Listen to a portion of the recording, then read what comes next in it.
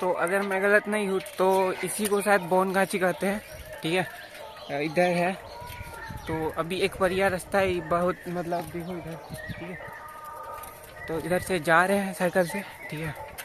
हम पैदल ही आते सुबह में, लेकिन सुबह में लेट हो गया। काहे कि बउआ के साथ सोए थे तो उसको अकेले छोड़ के नहीं आ सकते थे। ठीक है? इसलिए आज वीडियो भी पूरा मेरे पास कोई क्लिप भी नहीं था।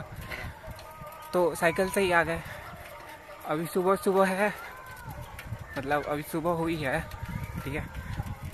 तो आगे थोड़ा गड्ढा है, ठीक है? चलते हैं अंदर